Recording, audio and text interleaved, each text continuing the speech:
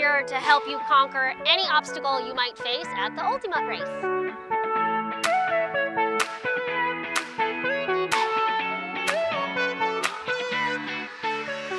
So we are back with Dante, and now what we're working on is going under an obstacle.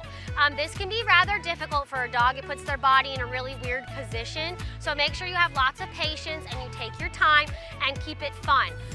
You'll want to start this by making sure your dog is comfortable being in a down position with their tummy touching the ground. So practice that a little bit before you throw in the obstacle. Um, you can start it as high as this one, like I have with Dante. Dante's a little bit older of a guy, so it's harder for him to get low.